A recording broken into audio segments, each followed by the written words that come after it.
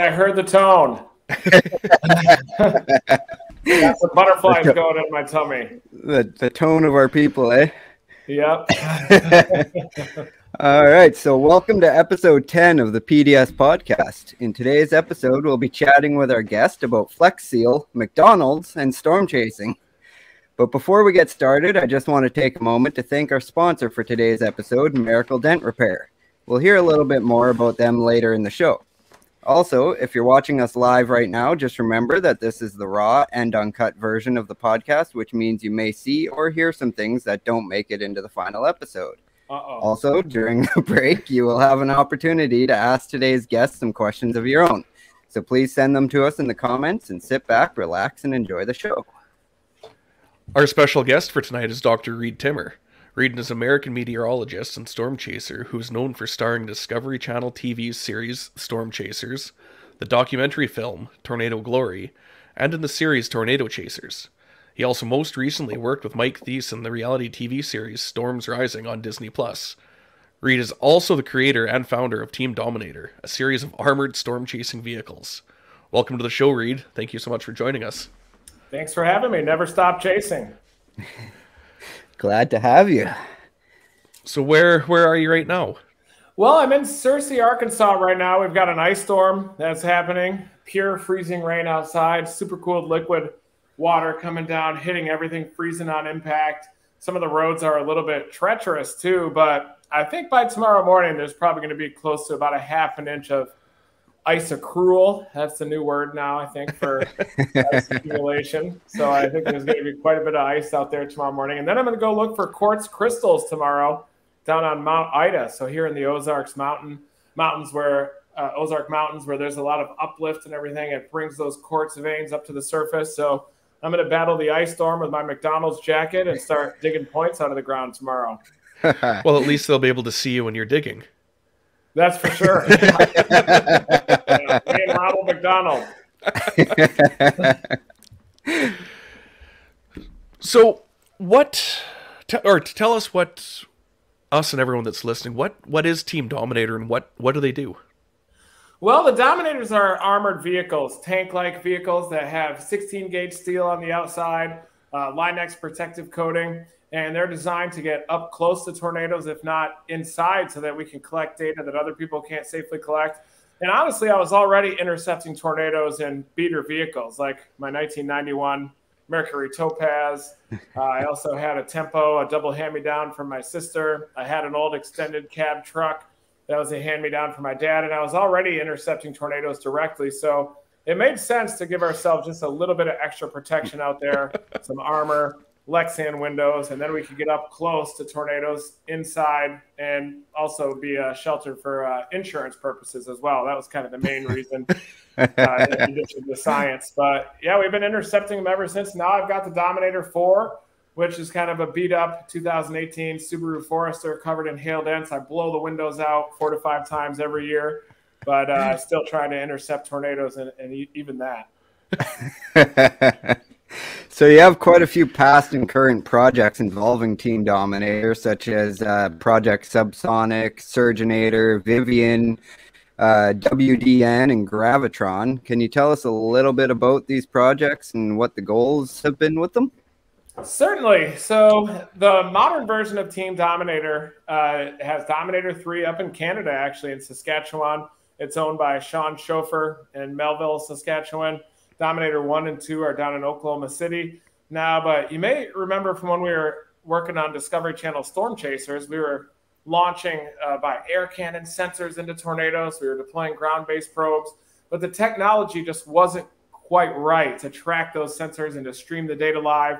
And many of the sensors that we launched into tornadoes, we never saw again. They traveled many miles away. The ones that would fall straight down to the ground, of course, we're able to find those. But the technology just wasn't quite right. And we were working for an engineering company back then. And, and then I met Mark Simpson, who's also Canadian. Chase and mm-hmm. Spin on Twitter is his name. He's with the Twisted Chasers, uh, Storm Chaser group. And he's the first person I met that actually has the ability to build these sensors and they can actually work. Really incredible technology. They can stream the data live down to a ground receiver. And I actually met Mark just a couple of months, maybe a month or so before our first launch into the Linwood, Kansas tornado on May 28, 2019. Uh, it was 2019 that actually Gizmo had her cast on, not 2017. Sometimes mm. I get those prime numbers of seven and nine a little bit confused, but 2017 was a big year as well. But I know yeah. nine is not a prime number. I just get prime numbers sometimes discombobulated with nine. But nine and seven, I seem to get a little bit confused. But anyway, 2019, we met Mark, and then he built those sensors in like a, mat, a, a matter of about one or two months, a matter wow. of weeks. He was able to build those sensors. They worked. He had a receiver and a Tupperware container. The data would be streamed live at a rate of one hertz, one time every second. If we recover the sensor, then we can actually recover the 10 hertz data. But that's our rocket launcher project. We have that massive ro- rocket launcher on the top of Dominator 3.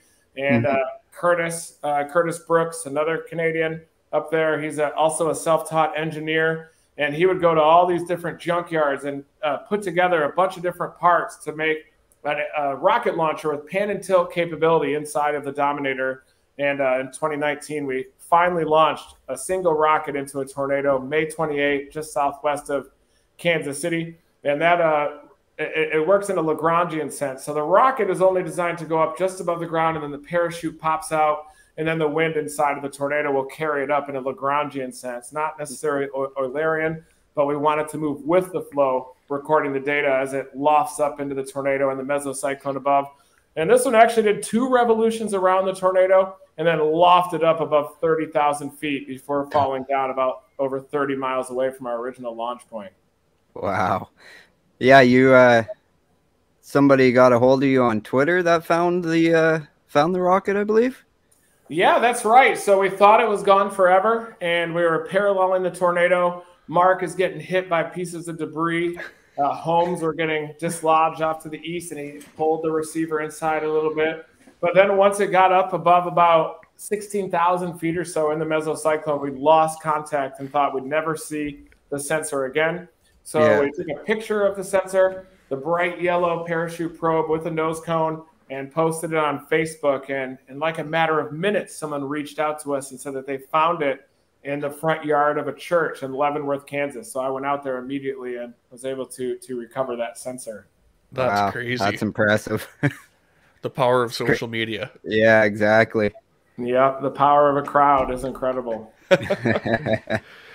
so probably your most popular project at the moment would be the Dominator WX weather station. Yeah. When uh, when are those going to be available for purchase for the for the public? Well, they're going to be very soon. So Mark is working on those right now, and we did have some supply shortages uh, with the pandemic that's happening and with China and with technology in general that prevented us from rolling them out last storm season. But Mark has enough parts to produce about 20 of those. And it looks like here, probably a matter of weeks to maybe a few months, we're going to be rolling out those first Dominator weather stations. And we'll have 20 ready to go right out of the gate, research grade weather stations mounted on vehicles as well. And the goal long term is to create a network of this data stream, a network of storm chasers that'll all have one of these Dominator weather stations on the roof. And it would almost be like a, a mesonet that naturally tightens around the weather systems of interest. So naturally, storm chasers, uh, like honeybees on a on a flower or something, will just you know, like to go toward the tornado. So I think it would naturally tighten up the resolution of the Dominator weather stations. But we do plan to roll out those research grade weather stations in a matter of weeks to months, but in time for this storm season, certainly. Mark's just building them with his bare hands. So he has all this equipment over there to build all these sensor boards with his bare hands. And uh, you know, it's incredible that he's able to make all that happen. I've, I've yeah, talked that's... to him a bit, and he sent me some videos of what, what he's doing there, and it's it's incredible. That's he is a he's a quite the magician. That guy. He yeah. is, yeah, an absolute savant, and he's got musical talent as well. I think he's got perfect pitch too. So he's one of those people that just has a lot of talent. Just been blessed. yep. So uh, how can not? Oh, I mean, how can everybody else get uh, one of those Dominator uh, weather stations? Well, we have an email list right now that's at uh, Dominator or domwxdata.com, dominatorwx.com as well. So we have an email list where people can sign up in advance.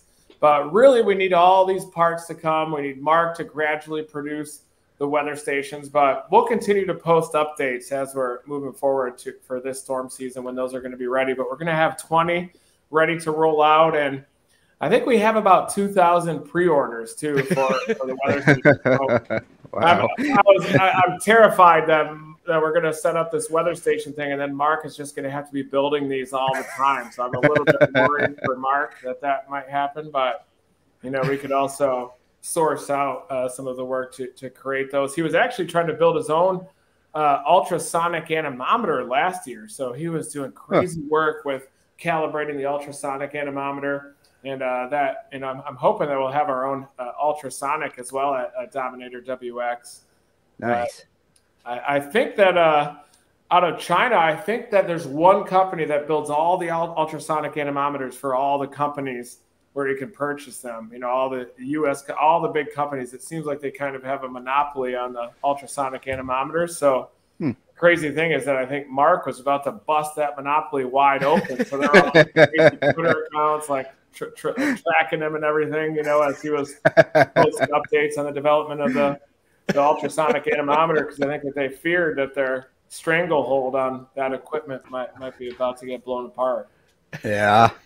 Wow. But that's why they're so expensive. You know, you go to like one of the, some of these sites to get an RM Young anemometer, and they're like four grand.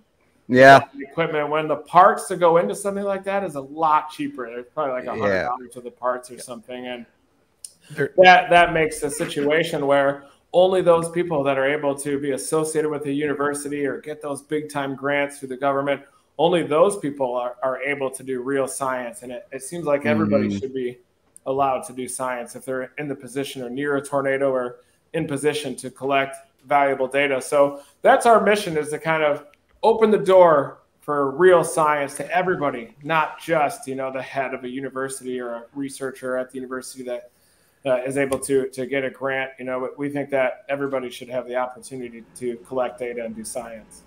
That's awesome. I like that answer.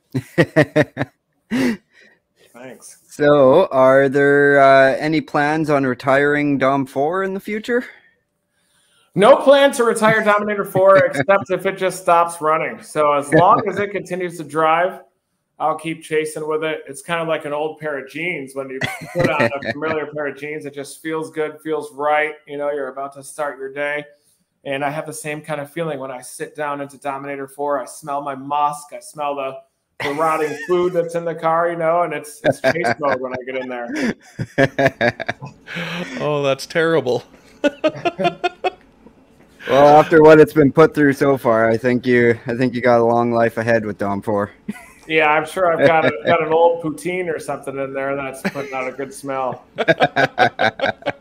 Which that's disappointing, you know. After these, after the pandemic and everything, I, I usually get a poutine every year uh, when I come up there to storm chase. Back in 20, uh, 2015, when we were chasing the Tilston, Manitoba tornado, the tornado actually sucked my poutine out the window. So I had the poutine in my lap. I was about to enjoy it, about to enjoy those wonderful cheese curds sliding down my throat. And then right when we're about to intercept the tornado, the inflow kick. Sean had his window open. I had my passenger window open. The RFD happened and sucked the poutine out the window. And oh. hit the ground. I think it was an A and W poutine too, which oh know, man, that's criminal. yes. Yeah. So you you kind of uh, started mentioning all who was involved in Team Dominator, but who who is everyone that's involved in in that?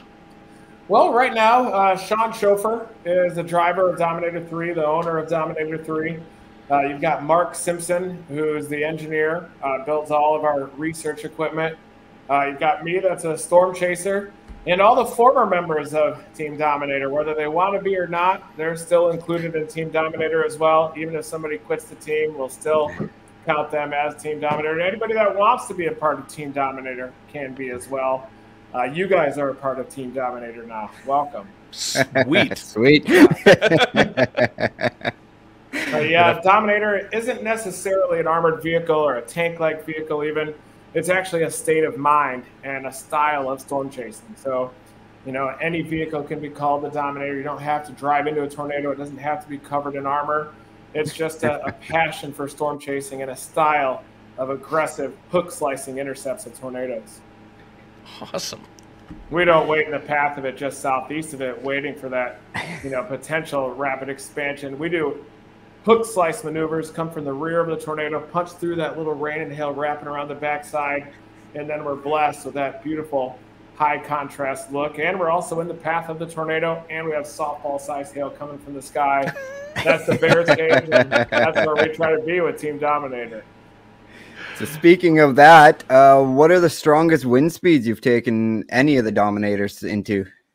Well, the strongest one we ever measured was 155.2 miles an hour. That was June 5th, 2009, uh, just outside of LaGrange, Wyoming. That was the LaGrange tornado that we intercepted. It was rated an EF2, but we measured a wind gust of EF3 intensity inside of that one and it was roping out so it was constricting as it impacted the vehicle so we didn't experience those winds for very long uh, yeah. but that was actually the strongest uh, wind that we ever measured 155.2 miles an hour we also measured 138.8 miles an hour in the aurora nebraska tornado on june 17 just 12 days after that tornado in wyoming so we intercepted that one june 17 2009 that was when the window was blown out by the suction vortex that ironically was coming around the backside of the tornado.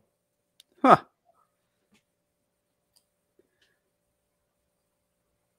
Curtis, you're uh, sorry. Sorry, yeah. my heater kicks in in the garage and it uh, it's quite loud, so I mute myself while it's running. But uh, the real question that everyone wants to know is why do you spell Dominator Four or Dom Four F O R E? It, well, the Dominator 4 would have made sense just a number 4, but as the vehicle started getting beaten up and covered in hail dents, uh, dimples all over the car, my uh, side mirrors have been blown apart. I lose about four to five windows a year. The sunroof is caved in, so I put a piece of aluminum over top. But I started to realize that it looked more like a golf ball, and so that's why F O R E, like when you yell four when you're hitting a golf a, a golf ball or something, you accidentally hit somebody. Um, I grew up working on a golf course, you know, more maintenance. I was mowing grass. We'd peel off into the bushes, you know, and get our head right to mow, mow the fairways, the tee boxes, the rough, and everything as well. And uh, so I do have a, you know, a, a, an intimate relationship with the game of golf as well. And uh, I've had people yell four, you know, when the members are hitting the ball, and I'd be out there mowing grass. Sometimes they'll take one right in the middle of your back. So I think it just made sense that you know, four F O R E uh, makes sense to kind of play off the number four a little bit as well, and also realizing that Dominator is a state of mind, a style of storm chasing, and not necessarily a, a material possession. So when when you said that you take a golf ball off the middle of the back, now I'm picturing you out there like Happy Gilmore, warming up for the season, just getting dri- people to drive the balls at you, just taking the hail.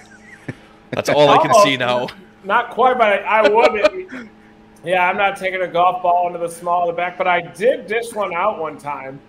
Uh, just about five years ago, I was golfing with my friend Aaron Rupert out in Norman, Oklahoma at Westwood Golf Course. And there was a group in front of us that appeared intoxicated. They were playing really slow. And I was about 220 yards out uh, with a four iron and I thought I'd just roll it up a little bit on the green just to send a message, just to let them know, hey, we're back here, you know.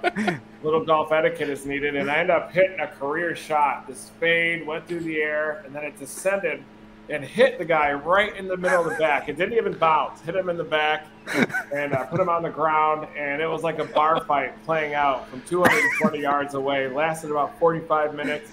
These four guys had tattoos and everything, and they're running after the cart and the incredible thing was that the golf cart, even with the governor, moved just fast enough, so it was just faster than they could run. So these guys were pissed off, and they ended up snapping my driver, throwing it back at me, whistled by my ear, and I turned the golf cart back around to get the head of my golf club, and these guys are trying to reach over my friend, trying to clock me and everything, and and then finally I turned around, grabbed the club head and as we're driving away, they're just running, slowly getting further and further back. And we just left the golf course to finish the last round. But there's a lot to this story that I, that I, I, did, I had to leave out. But it, it was around a 45 minute long ordeal. And, you know, I, I, probably should have just said, you know, said what they wanted to hear and diffuse the situation. But where's the fun in that? Kind of yeah.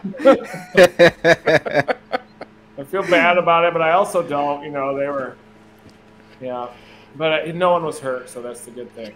it's most important. Have you guys ever hit somebody playing golf? I haven't, I but have my not. wife has driven a ball right into her old man's liver from about 40 yards Wow, that's not Ooh. good. when she was Especially uh, in Canada, you guys need those livers up there. right. Yeah, she hadn't hit a ball all day, so her, her dad and her brother they they went ahead of her, and she finally caught caught a hold of one and just dropped him like a sack of stuff. Wow. But no, I have not. Yeah, Me I've either. taken a hailstone into the liver before. So I was driving along in the passenger seat and had the window down, and one came right in and hit me right in the soft area, right below the ribs. Oof. That little soft area. I think that's where the liver's located. Saved your window though. It did, yeah. yeah, Silver linings. I definitely don't mind losing a window or two. So, what would you say your favorite feature of Dominator 3 is? Definitely the rocket launcher on the roof. That's my favorite feature. My uh, least favorite feature is actually the ability to deploy the Dominator to drop it to the ground in the spikes. Because every time I'm chasing in that, the driver of the Dominator 3 just wants to drop it down, even if we're like a half mile away. And honestly, if I could rebuild the Dominator, I'd completely get rid of that feature. No deployment. Because the problem with the Dominator is if you deploy, you're sitting there for 20 minutes. So once you drop it to the ground and the spikes go in, your chase is pretty much over. So Mm, if you're going to deploy the Dominator, you want to be just about to get hit by the tornado in the path of the tornado. But if you're trying to do a hook slice, you could get a flat tire and just allow the tornado to move off to your east. And that's a, a viable escape route with a, the hook slice maneuver, where if you're in the path of the tornado, there it could hit you. It could expand down shear. Tornadoes don't Mhm. like to expand up shear. They don't like to paddle upstream without a paddle. Uh, so tornadoes in general, unless it's one of those stationary ones with dramatic deviant motions like a Bennington, Kansas or something, if you're approaching from the backside, mm. that's generally a good spot to approach. But down in Dixie Alley where they're moving at 60, 70 miles an hour, that just isn't an option down there. So Yeah, for sure. Um, so I guess that kind of answers my next question, which was if you ever made a new Dominator, what's one thing you'd be sure to change? No yeah, I might no, make no of an deployment. more of an all-purpose vehicle too. Kind of a vehicle that's capable of chasing all different storms. Uh, maybe a dominator that could even float. So if we're chasing a hurricane and a storm surge comes in we could just barrel into it turn it into a boat and start floating continue to collect data as well. But um, i think i'm just happy with the dominator 4 kind of a beat up vehicle, you know, beaten down vehicle. It, it, it's kind of uh, consistent with kind of how I feel these days too, you know. Uh, but kind of on brand a little bit for me. You know, I don't need some nice expensive car. I'm kind of uh, now taking the approach to where you know I don't need to own the view to enjoy it. You know, Absolutely. I don't need to have any nice things anymore. I think it's natural Except your coat. humans to try to accumulate nice things, you know, and I, I'm, I'm kind of trying to gravitate away from that a little bit. It, I'd believe you a lot more if you weren't sitting there sporting that sweet coat. yeah. Oh, I didn't realize there was arches on the back too. yeah. Fries on the side too. Do you see the fries on the Oh man. Oh, that thing is money. Maybe even put some cheese curds and gravy on that, then you got a poutine on the side. Oh, we'll, we'll get a patch for the other arm for you. yeah. But yeah, I love the rocket launcher of the Dominator 3 because, you know, that's really the key part to get instrumentation into the tornadoes. And Curtis and Sean may design a big, massive launcher with multiple rockets along the top. And uh, I'm really hoping we can get the band back together, get the team back down in the U.S. now that the borders are open and Yeah. with Sean, Curtis, and Mark. Get Sean back behind the wheel, you know, and uh, just get everybody down there. It's been it's been a couple of years now, and I, I wish we just chased anyway, you know, but got to follow the rules. yeah. Stupid was- rules. They made it hard to get down there, that's for sure. Yeah, and hard to get up into Canada. So Yeah. last couple of years, the first time I haven't been up there in a long time since probably 2006 or five, 2005. Yeah, so yeah, the first time that I missed a couple of years, but you know that's just selfish. You know, I understand that You know, you guys get your poutine and tornadoes as well. So I don't need to enjoy it. Well, hopefully now that the pandemic, hopefully it's coming to a close and we can all meet up, hang out, storm chase, and you can see Gizmo again, Jordan, and it'd be good to get our Canadian sure. friends back down. I just saw Tom Smetana is uh, going to be planning on chasing down in the U.S. Uh, as yep. well this year. Yeah, and really hoping Sean comes down. Yeah, I'm worried. So. I'm worried he's been locked up there in uh, Saskatchewan for too long. Be going squirrely out in storm chase. he's been ice fishing lots. He has. Yeah, he's in that shed. Gets in that shed and uh, yeah. You got you guys? Does every Canadian have an ice fishing fishing shed? Most, almost, or someone that has one. yeah, you guys do as well. yeah. Well, I don't personally have one, no, but I know a lot of people with them. you sleep in them and everything too, right? You can. Um, Usually that's after too many beer, but you, you can. so you mentioned Gizmo. What what does she think of the of chasing and storm chasing and all of that? She loves chasing. She's been doing it since she was a little puppy, and uh, she's seen a couple hundred tornadoes. Gizmo has.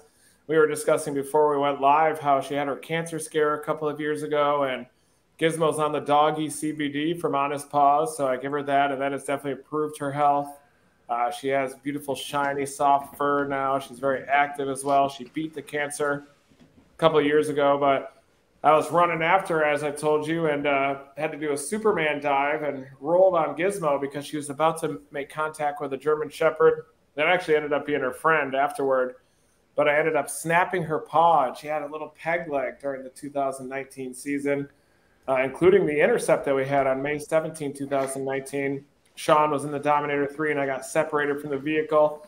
Held Gizmo in my bread basket with the wind back behind us, and she was kind of sheltered there. And we were getting blasted by manure and wheat and everything from that freshly plowed field. I ended up getting pink eye for must have been about two weeks after that that I had to battle my eye. I touched my eye and the thing would just blow up. It was like a some kind of an autoimmune thing or something with my eyes uh, also my bronchial tubes from breathing in all that manure. So that was definitely an issue. But the lesser known dangers great. of storm chasing. Yeah. Those fields, there's some bad stuff on fields and, you know, like dirt, manure, uh, the little uh, crinkled up wheat that's in there too. I'm a little bit allergic to wheat. Uh, but that was uh, Gizmo's intercept on foot, and she's been storm chasing ever since. She's seen about 200 tornadoes, Category 5 hurricane. She was in Hurricane Michael back in 2018 as well, and she's been close to an EF5 tornado. She's been uh, chased debris flows. Gizmo was actually hit by a tornado in my house in Norman, Oklahoma as well. So I was on a different storm in northern Oklahoma and actually missed the one that impacted my house. And Gizmo was in there with the Dominator 1 parked in the driveway, and we actually missed that tornado. So he's even intercepted tornadoes that I missed. She's like, I don't need you. I can do this on my own. so I we I see that you have a, a sponsorship with Flex Seal, and I saw a video of you getting your car put back together using it. So how many parts of your vehicle are actually held on with Flex Seal products now?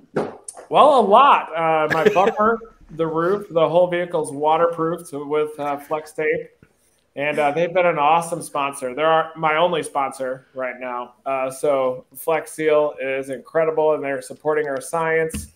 Uh, they're helping provide Mark with uh, equipment so he can waterproof the sensors as well. And we use flex tape to mount the gravitrons and the storm surge sensors on poles and whatnot when tornadoes are moving through.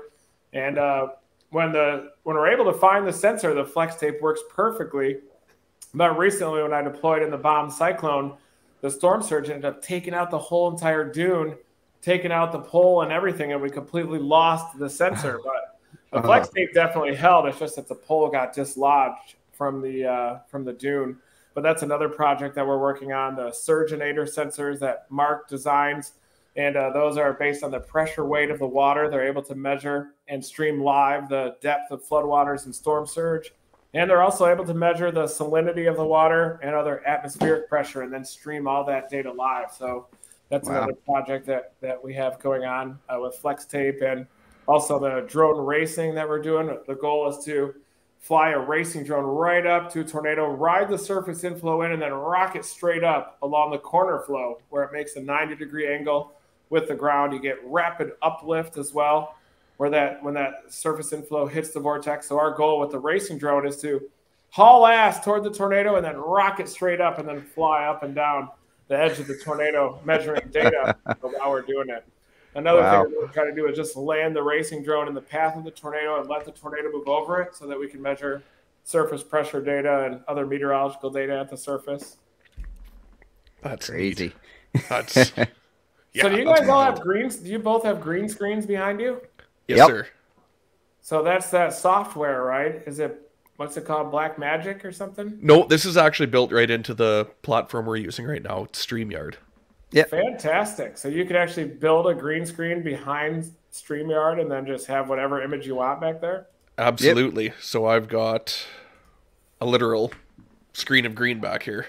Wow. I've got the Holiday Inn Express, uh, which feels just like home, you know, when you come into a Hampton Inn or a Holiday Inn or a Motel 6 and they have this this same uh, color scheme and artwork. It just makes me feel at home. I get my best night's sleep in a hotel because it it feels so much like home. you probably spend more nights in a hotel than you do at home. Definitely. Probably. I don't really have. I have an apartment in Colorado now that I'm never there, but I pretty much live on the road full time now. I crash at my mom's place in upstate South Carolina quite a bit. I'm that 41 year old that lives with his mom. There's your new Tinder profile. oh, I don't date. I am non-sexual. The last five to six years, uh, I am just pure commitment to storm chasing, mountain biking, golf, science, and Gizmo. Gizmo, I would say, is my the love of my life, my life partner. She is uh, Gizmo's awesome. We're uh, like two peas in a pod. That's terrific. Right on. Yeah, but no Tinder, no way. I, process, you know. I am done with that. What a waste of time, you know. Unless you're going to reproduce, you know, or you want to have a family, which, you know, at this point, I, I don't know if that's going to happen. I, I used to want to have a family when I was younger and all the way through my 30s, but at this stage, I'm just going to storm chase into the sunset for the next 50 to 60 years with medical advancements. There you, you go, stop, man. Yeah, what do you think? We'll be storm chasing until we're two, three hundred years old with medical advancements. They're just going to put your brain into a Dominator 18 and away you go. brain in a jar right on top. Yeah. so I think the question everybody wants to know is how many uh, miles per gallon does Dom 3 get? You spelt that wrong. It's gallons Dominator per mile. Three or four. Dominator 4 does pretty good gas mileage, but Dominator 3 is a diesel, so it does better than you might think, like 12 or 13 True. miles a gallon. So we, we would go electric, but Problem is, I don't think there's enough charging stations yet across the Great yeah. High Plains and ca- Canadian prairies. And they're expensive. I mean, need to figure out how to harness the lightning. yeah, instant yeah, charge. Light. Yeah. Hey, Mark, you know your next step. yeah, Mark, if you're watching, let's get a uh, let's get an electric solar powered Dominator if we can, or nuclear fusion, something like that. well, I guess that takes us to our first break. Uh, if anybody that's watching has any questions, uh, now is your time to ask them before we get on with the uh, rest of the show here. So there are a few here that I've starred as they as they came in. Okay. Violet WX wants to know if you have a favorite storm or tornado, or a more the most memorable hurricane or tornado, I guess. I certainly do, and it, it actually happens to be a tornado in Canada. The June 23rd, 2007 tornado, the Pipestone, Manitoba tornado, which I think was obviously an F5. Uh, it was a day after the first F5 that hit Elie, Manitoba, the day before on June 22nd, 2007. Mm. And I should have seen that tornado. I was heading north and decided to go up the Northwest Passage, up through Minot and further northwest, and ended up sitting out uh, uh, June 22nd, the, the Elie tornado, or else I would have seen it by accident. That was kind of a less obvious setup. Uh, yeah. A little bit more of a mesoscale accident, whereas we were targeting the day after that on June 23rd, where all the variables were maxed out. Like the zero to one EHIs were like almost double digits on that day, like 6,000 cape, three to 400, zero to one kilometer shear. Easterly winds at the surface, flipping around to westerly aloft. You had elements of the high plains shear meets traditional Great Plains, maybe not as much Dixie Alley type shear with that event, but uh, and then we chased the storm, and it was initially relatively high based as it was moving over the Moose Mountains, but a perfectly circular saucer. You knew the thing was capable of going nuts, but we chased it for a long time as that high base storm and started thinking, wow, maybe this isn't going to produce. Went way off to the east, dropped south, turned back to the northwest. It was one of those classic high plains setups of the RFD surging way off to the east, the tornado way back behind it. So you're getting RFD even though you're southeast of the tornado. And then, bam, the first large tornado happened to the west of Pipestone. We were a little bit out of position for that one. Went north into Pipestone, and then the new circulation was forming. Perfectly cylindrical wall cloud, convective up and down, very crisp left side. One of the most textbook wall clouds I've ever seen. And you could see the rotation, perfectly laminar as well. And then it quickly put down a large white cone tornado that we were south of, crossed the road just to our west expanded into a very large wedge, three vortices. And back then, people didn't storm chase very much in Canada. So, mm-hmm. you know, it, I, I, mean, maybe a handful of people. I know Dave Carlson used to storm chase back then. He was really the only Canadian storm chaser that I knew of. Back then, Pat Boomer was working the high plains up there in Alberta as well. Uh, I know there were some tours that were up storm chasing. COD was on that tornado. I know Chuck Doswell went up there and crossed that border illegally that one time a couple years before that. they had the cone set up and he just blasted through the border. And I think they got caught. I think it was at Tempest Tours or something back then, but they got caught on the other side of the border and got in big trouble. Of course, oh, man. these days that was way before uh, 2001. Uh, but yeah, that was uh, 2007 up in Canada. And then we went over to Brandon, Manitoba, and went to one of those bars there. That I'm not going to tell you what type of bar it was, but uh, one with the island in the middle, and there's like a moat around it with everybody. and that was one of my first times experiencing Canadian beer, and you know, and every, everyone was uh, out there having a good time in Brandon, Manitoba, and loved the town. I love kind of the merger of the conifers that you get with the Great Plains up in Canada as well. And you could storm chase till like eleven o'clock and still see everything. So we were we got yeah. that storm like at eleven thirty at night, and you could still see a lot up there. But you definitely get more of those high plains types of setups. So the easterlies at the low levels flipping around to westerly, and easterlies go up about two kilometers before flipping around. Just a different type of setup, but more of those high plains like eastern Wyoming type setups, eastern Colorado, except you have a lot more moisture and a lot more cape up there. So definitely love chasing Canada. Love the Canadians. Love poutine. But that was one of my more memorable ones uh, that I, I, am certain was an F5. Bennington, uh, Kansas is another one of those that I'm certain was an F5 as well, moving very slow, did a figure eight Sean Schofer and I nearly bit the bullet on that one because we ran on foot out to the inflow region, had a shoulder mounted air cannon uh, that was powered by compressed air. The goal was to launch a sensor from the inflow of the tornado. And I told Connor and the Dominator 1 and 2, hey, come pick us up right after we launch. And so we ended up having to run about a half mile to get to the northerly inflow that was feeding into the tornado, launched, and then realized that Connor wasn't coming to get us. so I had to run. It gets about a 90 mile an hour easterly on the north side of the tornado. Barely made it back to the Dominators, get in the car, and then we go counter to the tornado's motion. Just on its north side, we blast west as the tornado did this figure eight configuration. And we actually deployed a sensor on a barbed wire fence in the path of that tornado, and it came in and mowed everything out. The barbed wire fence was gone everything was swept clean and we never saw the sensor again. And that tornado was so stationary that it actually took cattle, all the cattle herd that was around, and piled it up into the middle of the tornado. So there was a pile of cattle carcasses in the middle of that tornado left behind. And we believe that the sensor is buried deep in there somewhere along with that barbed wire fence. Oh, wow. well, that's a memorable one. And uh, the EF5, Philadelphia, Mississippi, the super outbreak was a crazy tornado. The entire 2011 season was absolutely asinine. Uh, during April of 2011, over 700 tornadoes, the most tornadoes recorded in a single month anywhere uh, uh, on planet Earth. Usually, you know, I think the net, the second most uh, during a given month was less than 300 during 1974 in April. 2004, you had the uh, in May, you had a bunch of tornadoes too, which I kind of botched that season up a little bit, except for some of those tornadoes. But definitely that 2011 was insane, and I think this year is going to be similar.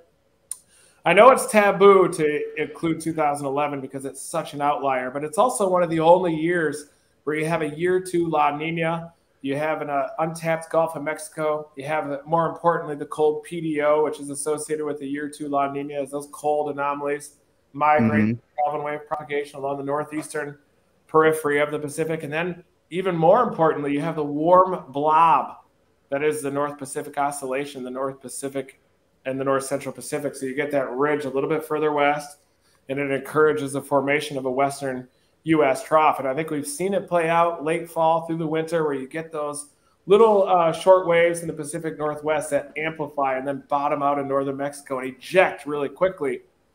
2011 was similar to that, where you'd be chasing in the, the Texas Panhandle, then you'd be in Mississippi, then you'd be in North Carolina three days in a row as that system ejects. You have a consolidated jet stream due to La Nina instead of a split flow pattern. But mm-hmm. I think that the El Nino like patterns that we see are more related to warm water being in the subtropical Pacific and even along the PDO horseshoe. And I think that encourages those split flow patterns, whereas the subtropical jet will just hammer the base of those troughs and cause them to deepen a little bit too early and cut off. And that's why you get a lot of flooding rainfall in the, the southern plains and you have an energized subtropical jet like that. So instead of just you know not even acknowledging 2011 because it's such an outlier, I try to look at it as from a meteorological perspective. I know we're probably not going to have a super outbreak or the most active April in history, but I do think that the troughs are going to follow that pattern where they start off as short waves in the Pacific Northwest, amplify, bottom out across northern Mexico, pick up a stout elevated mixed layer and then eject it across a warm sector. I think we saw that on December 10 and 11. We saw it on mm-hmm. October 10 and 12. We saw it in that event in uh, November when Purdue, Missouri was hit. Had a day off in Oklahoma. Then you had Beaumont, Texas going nuts. Dixie Alley's been active December 10 and 11, January 31st, or December 31st, January 1st. Just recently here, the Sawyerville tornadoes, these lower end outbreaks that are overperforming. So I'm looking more at the shape and the evolution of the of the uh, upper level pattern, and then try to relate that to the sea surface temperature climate in the Pacific, which is thankfully conveniently located upstream of North America. Wow, that is a lot of information. Yeah. Just uh, I kind of like the climate system and all that, which even though it's a lot of information, it could very easily be inaccurate too. You know, so. but if you say it with authority, really just... you're good. Oh yeah. When you say it with a McDonald's jacket, it makes it right. That's right. so the Nader chaser wants to know if you've ever been struck by lightning. No, I haven't. I've been close many times, but uh, I have not been struck by lightning. I, I maybe caught a streamer off of one but uh, as far as I know, I haven't been struck by lightning yet. I like that. As far as you know, from what I remember, yeah. Sandy Kern wants to know how many miles Dom Four has on it. Dominator Four has about 180,000 miles, and I got it brand new in 2018. So zero miles on it. And uh, sorry, I got a little bubbler here in the in the tummy. Uh, yeah, so uh, Dominator 4 has about 180,000 miles on it. I got it brand new with no miles. I still owe about 20 grand on the vehicle from the bank. just so just take it back to them. One of those. Uh, I'm upside down.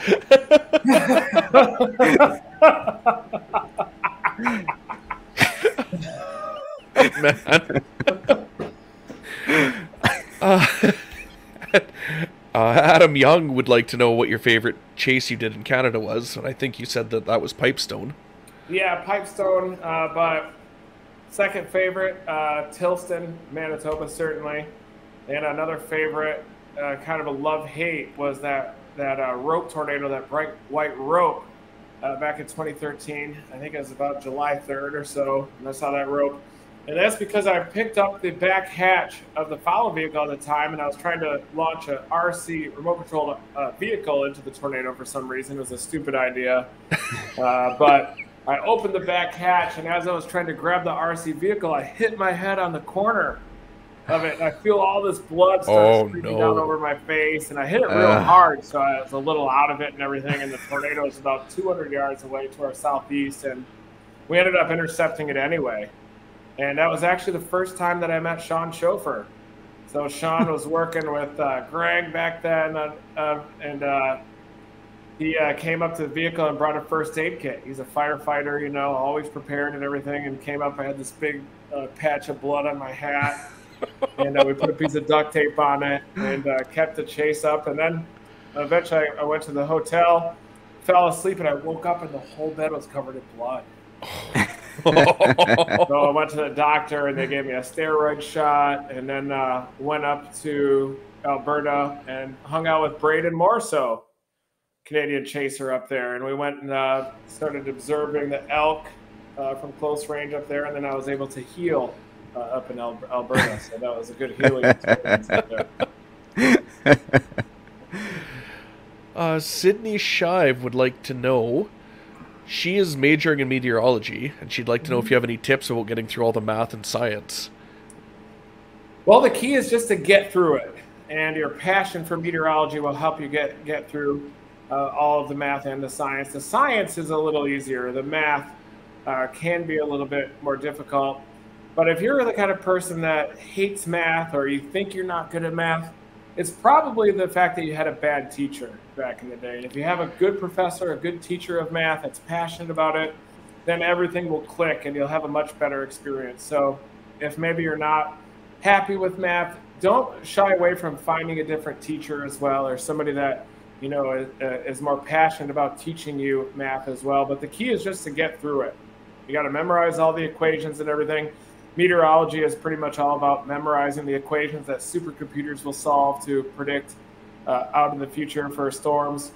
Uh, but you know, once it once it does click, it's a beautiful thing too, and you realize that mathematics are more of a language that describe motions in the atmosphere that you can see with your own eyes. And uh, once you start solving those problem sets and you arrive at a, a solution that works, it can definitely give you a sense of accomplishment. But once you get through all the math, you have your degree forever.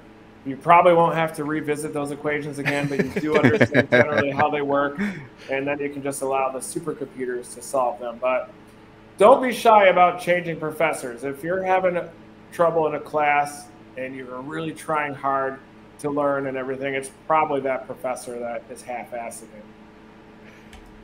Excellent.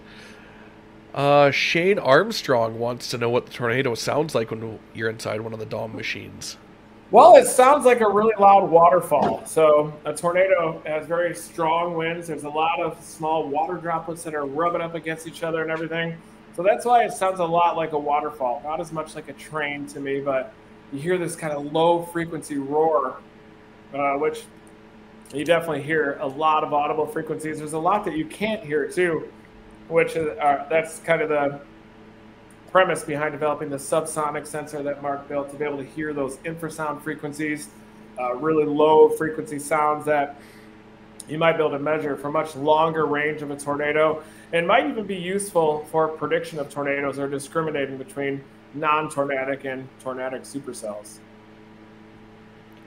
And I think there's only one more. CT wants Gizmo. to know where Gizmo is and what her favorite part of chasing is. All right, CT. Uh, Gizmo's favorite part of storm chasing are the chicken nuggets. So she loves McDonald's chicken nuggets, and I peel the skin off, the fried skin and breading, and then that non-chicken meat in the middle. That's definitely not chicken, I'm sure. That's what she loves. It's But she loves chickenish. food. Gizmo loves food, and she likes human food. So, you know, I've never been the kind of person that's just gonna only give my dog kibble. You know, I'd feel really bad for the dog. So, and I know Gizmo tastes because when she tastes something that's good, she sticks her tongue all the way out, like savors it and everything. So, we try to give Gizmo a good quality of life as well, while also being being healthy. She's on the CBD treatment as well, which Honest Paws, if you do have a dog and you want to give them the CBD treatment, Honest Paws is a great place to purchase that medicine, and it really will result in a very healthy dog. It, I swear it helped Gizmo beat cancer. All right. All right. I think we're caught up. There's a pile of comments here, so if I missed your questions, I'm sorry. I I'm really trying to keep up with them all. Okay, I'm gonna go grab a. I'm gonna go grab a refill on my drink here quick before we get back. Okay. Into it. I'll be right back. Yeah, if you need to uh, if you need to take a break to read, by all Okay. means. I'll use the restroom. I got some chilies here as well. I could always eat that during, but I'm gonna. I got some uh, fajitas and Southwest egg rolls that are good. Nice. There's a scarf tornado I see. That was a Yes. tornado. That. So I'll be right back. Gonna take Yep. you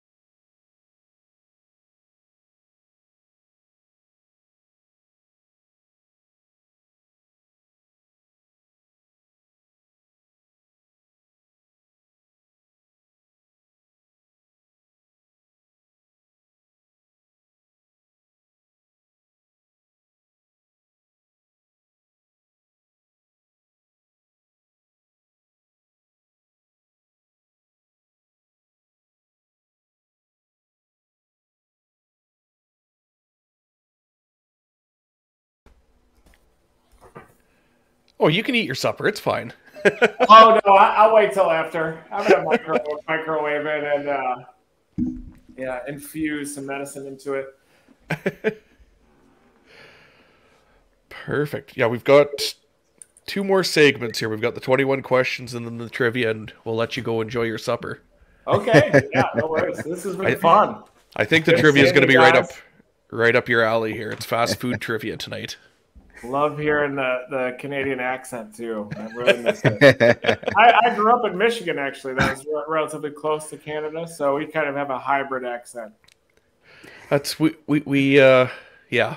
I'm not even gonna. I don't have the Oka. I, I, even though I was in Oklahoma for 20 years, I never never lost the Michigander accent. My sister, on the other hand, developed a Southern accent in like two months of living down here. Oh, that's awesome. All right, we'll hear from our sponsor here really quick, and then we'll get back into the show. Hail damage. It can happen at any time, and when it does, bring it to the hail repair specialists at Miracle Dent because dents are what we do.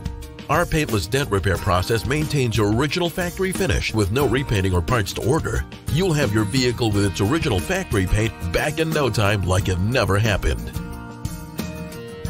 If Mother Nature has put a dent in your summer, come to Miracle Dent Repair. Dents are what we do. Perfect sponsor for Dominator 4. Yeah, I was Absolutely. I meant to make that connection after the first sponsor run, and then I forgot, and then now you're doing it again, and I could bring it up there and see if they could pull some of those dingers out. Well, we might even have a gift card or two we could give you for there. Yep, yeah, I got a couple gift cards here from them. I would love to see the the look on their face when Dom four wheeled in the parking lot. yeah, I returned some rental cars back in the day after completely destroying them. One in uh, eastern Wyoming in 2018. I was driving up after the tornado, and I was still probably four miles away when it first touched down, and I got a flat tire because I was driving on this crazy road, canyon road. Got a flat tire, and I had the decision: do I stop and fix the tire and miss the tornado? No, you don't do that. You drive on the rim, and then you intercept the tornado. So driving, blocked it out. You know, I totally evaporated the tire, and I'm driving on the rim when I finally got up to the tornado. Hook slice maneuver, softballs going around. The tor- tornado started wobbling back toward me, and then it hit the town of Federal, Wyoming, just northwest of Cheyenne. And there was a man that took shelter, and he uh, came out of his shelter. He had two Siberian Huskies, and I also ran into softball size hail blew some of the windows out, dented the whole entire exterior of the vehicle. And then I let him take shelter in the car, of course, and the Siberian Huskies just destroyed the back of the car. just shredded the interior and the exterior. I, eventually, he helped me put on a donut tire as well, and I ended up driving it back to Denver. All the windows blown out, donut tire, like uh, back of the car shredded. And I pulled in, and they were clapping. They were standing in a circle around, and everybody was clapping when I uh, returned it and they had a bunch of hail around the area too. But it was obviously the worst damaged car they had ever seen, and they were laughing, celebrating, and I realized that the people that check in your vehicle and the employees of the rental car company, they don't care whether it's covered by insurance or not. They just appreciate good damage. they just like seeing it. just witnessing it. it's like, look at this thing. There's nothing left on here. What did you do to it? so we've started doing this thing uh, where we ask our guest if they have a question for our next guest. And in the last episode, we had Michael Blin- Olbinski on the show, and he left the following question for you: Haboobs oh. or tornadoes? Tornadoes. Yeah, haboob is uh, a haboob is like chasing a squall line, except it has dirt in it, and it makes it look beautiful with the dirt. Definitely makes them very photogenic. But uh, I would even chase debris flows and flash flood. But I love haboob, so it's definitely up there. You know, uh, I, w- I would say that I would chase. A, I would prefer chasing a haboob over a hurricane. Yeah, really. Yeah, a hurricane is like standing in a squall line, except for like twelve hours. You know, driving it.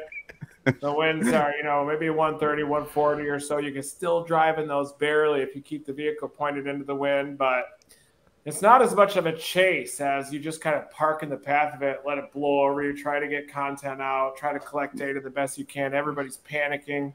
Most people mm-hmm. evacuate. The people that stay behind are a lot of times crazy people, crazy storm chasers, corrupt police officers, all in one group. And it's more about the human element than it is about the meteorology with a, a hurricane chase in a lot of ways, which I think is great and everything. But tornado chasing then is the pure chase finesse game where you're trying to get close to the tornado. You're trying to anticipate its next move. Is the storm going to cycle? Do you need to navigate roads? You know, it's definitely more of a chase, I think, by definition. Whereas, you know, a, a haboob is a, is a bit of a hybrid, a little bit more of a chase, but you're also kind of just waiting for it to come to you. You're setting up your tripod in the path of it, standing there, just kind of watching it you know, and uh, and, and, so it's more of a hybrid, a chase, and you're waiting uh, to allow it to get to you. But but I still mm. love chasing hurricanes as well. But ice storms I do chase as well. But tornadoes and, and giant hail and debris flows, flash floods are my, my favorite. But haboobs way up there. You know, I'd rather chase a haboob than a than a mega shelf squall line, but I would I would love to chase both of them. So our next guest uh, is going to be Jessica Moore, and do you have a question for her? Yeah, do I have to come up with it right now? Nope, you can nope. let us know later. okay, but I, I, I do uh, have a question right now. Um, do you think that, uh, or uh, it's, it's got to be related to NFTs? I would think. Probably. Yeah. Uh, photography, NFTs rogue storm chaser, but uh, I want to think about it. I want to come up with a really good question instead of just coming up with one on the fly. And I've got, a, I, uh, I have a lot of respect for Jessica, and uh, I want to come up with a good question. But I think it might involve NFTs a little bit because I, it's definitely something I've been trying to decide. Is it something I should get into? Is it something where I should take a photo of Gizmo and roll out a Gizmo line? Is it something that maybe isn't for me? So it's definitely something that's uh, related to that space because I've definitely seen a lot of storm chasers start to pursue that angle. And I'm all about angles that allow storm chasers to be able to make a living doing what they love, whether it be social media streaming, making it possible uh, for a pathway for independent content contributors to generate content and make a living, or whether it be through, for NFTs, which has been a great platform for photographers and for storm chasers to make ends meet uh, following their passion. So I always support these renegade communities. They always start off renegade and then they become mainstream. Mm-hmm. But I always support those pathways that make it possible for the storm chaser, just the average storm chaser, to make a living uh, doing it as well. And and uh, because a lot of times, you know, media and content is controlled by a big corporation. They only allow it for a couple of people to have a job doing it, and, and they may or may not even be passionate about it. But mm. social media and has opened the floodgates to allow anybody with a passion or talent to possibly even make a living doing what they love. So that's why I, I love the uh, NFT space. I love social media that's made it possible uh, to really allow us to take advantage of our independent spirit and uh, make a living doing what we love. Absolutely. Well, yeah. If uh, yeah, just I'll think about it and text on... to you. yeah, exactly. Yeah. Perfect. My file damage, my file access system in my brain is a lot slower now. I think due to just years and years of chasing and burnout. So a lot of times, once I sign off of these podcasts, then I'll remember Oh, I should have thought of that. questions. Yeah. I just got a little bit of a lag that's baked in. Unfortunately, I, I can't access my. It's all uh, good, buddy. But yeah, Jessica will be a great guest, uh, and I'll tune in. But I would love to hear more about how the NFT space is going. Absolutely. So and now... is there any room? Is there any room for the Yahoo Storm Chaser and NFTs? I hope so. I'm a Yahoo, and it, it, does feel a little bit like the Yahoo style of storm chasing is kind of a dying breed a bit. You know, a... it's too many people can see everything that's happening now. Everyone yeah, has a camera so in their hand. Up, you get up close to a tornado with a potato phone, you know, and that, that there's got to still be a space for the Yahoo storm chaser like me. Speaking of that, now it's time for a 21 question segment where we're get, gonna get to learn all about your Yahoo lifestyle. Okay.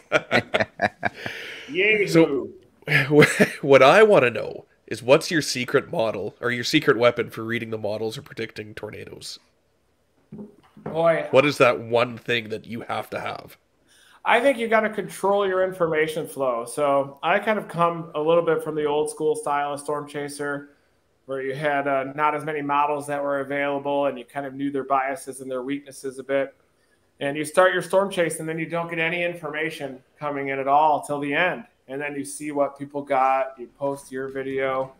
But now all the information is real time. There's radar data coming in. You get flooded with 500 different opinions of what their forecast is, unsolicited most of the time. You know, I, I, get text just blowing up. This is what I think. I think it's going to be here. I think it's going to be over here. Next thing you know, you totally forget what your own forecast was. So I think it's, and that, that's causing everybody to kind of move as a herd a little bit with the same forecast, the mainstream forecast that gets picked up by social media and whatnot. And, and you, you don't really have anybody that's working the secondary or tertiary targets as much. And so I think my secret is to try to exist in a vacuum as much as you can before the chase so that you can kind of maintain your own forecast a little bit. You can learn a lot more that way. And filtering information, I think, is the key to being a successful storm chaser these days because there's so much information come in. You just get discombobulated and have no idea what your original forecast was. Eventually, even forget your name, you know, and uh, where the tornado is, where you're located. And so, my goal moving forward is to try to control the information flow and try to exist in a vacuum the best I can until the uh, storm is intercepted and then resume summer camp. Everybody meets up at Applebee's. We share our stories, share our forecast in hindsight, how it worked, how it didn't work. But I do love, uh, I love the NAM models just because I know their bias is a bit more. There's always a new model and a new update these days and something new that's wrong. And so it's very difficult to stay in tune with the model biases as well these days and to even have a favorite model because there are so many different models, so many different tools these days. It sure seems like models are getting less accurate with time, especially in the medium, medium to long range. But I, I, could be wrong with that. You know, that, that that could be false, but it just seems like forecasts. It was a little easier to forecast back in the day. So, what is something interesting that most people don't know about you? Well, I collected insects when I was younger. So, I was a big bug collector. I was in Science Olympiad. I didn't go through puberty till about the age of 25 or so. So I was in science Olympiad collecting insects. Also played the oboe. So I went to summers at Interlochen, and uh, so even though my name's Reed, coincidentally, I'm actually I'm named coincidentally after the mouthpiece of the oboe, but it was. but I love the oboe. I wish I could play that again. You know, I played all the way through college, and uh, it was definitely a good balance for well, that sounds like something you should have in Dom 4 with you to pass the time while you're waiting for a storm. Yeah, bring out the oboe. yeah, I can still play it. I can still. It's kind of one of those things where you just get back on a bike. I think. You really yeah. About it too much. What do you enjoy most about presenting the weather? Like weather briefings? Yeah. Uh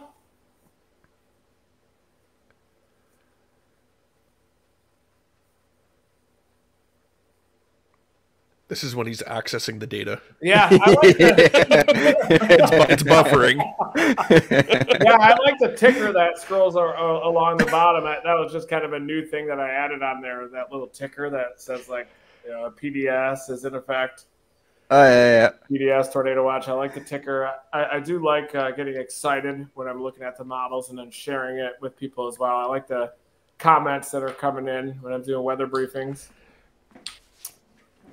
So those did, fun. But I'm not very good at, at uh, presenting the weather. I don't think so. It's not one of my favorite things to do. a little self conscious about it, but but I, well, I, I, I think it. you've got a pile of people that really enjoy watching you and listening to you present the weather. Oh, I agree. Thank you. how how did you get interested in the weather? Well, I've loved it ever for as long as I can remember. And uh, my first tornado experience was when I was about five years old, and my dad was pulling us in a wagon to go catch minnows. And there was a tornado warning that was issued, and we were coming back to the, uh, my mom's house, and uh, he was pulling us, walking really slow, the same speed the whole time, even though the sirens were blaring. I remember the chaos as well. The newspaper delivery man would often ride his bike with no handlebars, and he's just hauling ass with no, not holding onto the handlebars, just zipping out one of the driveways. So I remember that, happening. Everyone fleeing the tornado. My mom stuck her head out the window and just started going nuts. Get back here, tornado warning! Just flipping out. I, I remember the whole chaos of it, and that that must have led to a, an obsession with tornadoes starting at about age six or so. Oh, that's awesome! 1986. and then, of so course, you know, a Twister happened, and uh, that was not late '90s. I was a I was already had already had some storm chases under my belt when it started, but the whole twister thing, you know, just ramped up the stoke factor about storm chasing. Just realizing that holy cow, you know, there's actually a career path where you can follow your passion of observing and intercepting storms. I'm not as passionate about the physical sciences, honestly, and the mathematical. I, I, I, wasn't very good at meteorology. I just loved it so much. I was better at the life sciences and insect collecting and bioprocess events and just kind of pure memorization a, a bit more. But I decided to follow my passion and go into meteorology. And but you know, I'm not a natural mathematician or programmer or physical scientist as much as a savant. For example, like Mark, you know, he's a, your textbook expert physical scientist, I would say, with elite mathematical skills and programmer. And like you know, I, I wish that I had that, but I, I, was definitely more of an insect collector, nature, uh, life sciences. But my true passion was always in weather, severe weather, and storm chasing. Who's been your most important professional mentor?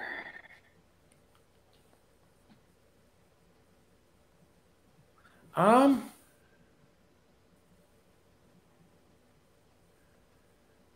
I definitely have some people that uh, inspired me for sure. Uh, Jeff Piotrowski was a huge inspiration. Tim Marshall was a big inspiration as well. He actually sent me VHS tapes of his footage when I was growing up.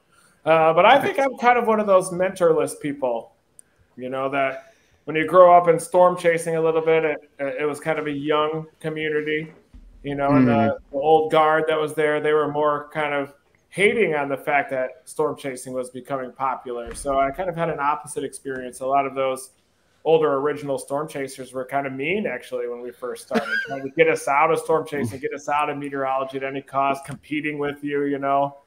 Mm-hmm. I think most of those older folks they, they weren't very nice. They they'd even put up whole entire websites. People that work at the SPC now, they put up these massive websites, just hater websites. And I was like an 18, 19 year old, 20 year old kid at the time. And these professional meteorologists were put like devoting these whole entire websites to being a hater. Roger Edwards, those guys. That's Jeez. terrible. Yeah. Oh, it's okay. I think that's just natural human instinct. You know, as we get older and younger people start taking over and the popularity starts to intensify. So, my goal is as I get older to be the opposite of what I experienced and to try to help people show them the path of storm chasing, show them a path of meteorology. And even though it might be natural for your testosterone and you know your hormones to say i want to compete with this guy you know this isn't good even though he's 20 30 years younger than you. You know I, I, think it's a lot more fulfilling if you help them and mentor those people and show them a path of storm chasing. But unfortunately i consider myself one of the mentorless people and i definitely do wish that i, I had one back in the day to kind of show me the path. But i also am thankful that that happened so that i can show other people the path, you know, and kind of learn from that. You know, I, I, think that's sometimes why if you have a bad parent or something, it a lot of times skips a generation because you can kind of learn from something and try to do better yourself. So that's what mm-hmm. I would mm-hmm. do for storm chasing is to support the community rather than hate on it. That's an incredibly healthy way to look at that. Absolutely. You have to force it though, you know, because it's, it's not a natural way to be. I feel like some of these older people they still want to steamroll you and compete against you, and ego, you know, is a big issue. And so ah. you got to sometimes put that aside and try to show people the path more so than anything. And then I think it'll be a much more fulfilling existence when when you have to pass away. Absolutely. Never stop so, chasing. so what what has changed the most since you started chasing? Well, the popularity is incredible. I mean, there are tons of storm chasers out there. The technology has changed dramatically. The advent of social media. Uh, when I first started chasing in the mid late 90s, we had to pull over and go to libraries. You get a library card at every little library town. You look at information, you find your target, and then you leave that information and then drive to where the tornado is happening now there's a continuous flow of information coming in, a need for continuous updates to even stay afloat. If you're working for an AccuWeather or working for social media, you got to keep real time updates, if not stream live nonstop. And uh, it's exhausting, but that's the way that things are now as well. So, uh, you know, but boy, has it changed dramatically over the last 25 years. And I'm sure that the people that were kind of ending their storm chasing career when I was beginning maybe felt the same way uh, I would think. So, what did you do as a job before you got into storm chasing? Well, uh, storm chasing's been my full time job since since two since '99, I would say. So it's been my full time job since then. But I, I, still worked at a golf course, uh, mowing grass, tee boxes, cleaning clubs.